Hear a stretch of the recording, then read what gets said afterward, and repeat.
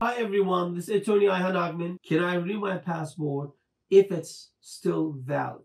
Yes, your passport does not have to be expired for you to actually renew it. We do actually recommend that you renew your passport well ahead of any planned, you know, international travel, even if it still has a few months validity left on it. Some countries require that your passport be valid at least six months beyond the dates of your trip.